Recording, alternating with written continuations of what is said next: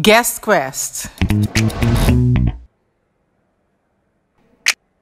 Je moet ook heel eerlijk zijn dat bij dat soort dingen heel veel toeval en ook geluk komt kijken. Dus eh, alle mensen, alle volwassenen die je vertellen dat eh, de, de dingen die ze hebben bereikt vooral het resultaat zijn van hun eigen voortreffelijke eigenschappen en keuzes, uh, geloof er niet te veel van. het heeft heel veel te maken met toeval, het heeft heel veel te maken met geluk, maar hard werken helpt wel. vraag mensen om hulp. je zal echt verbaasd zijn hoeveel mensen van je eigen leeftijd, maar zeker ook mensen die wat ouder zijn, graag belangloos willen helpen. Die hoeven er niks voor terug. Maar die zijn bereid om je te helpen, gewoon omdat ze het leuk vinden.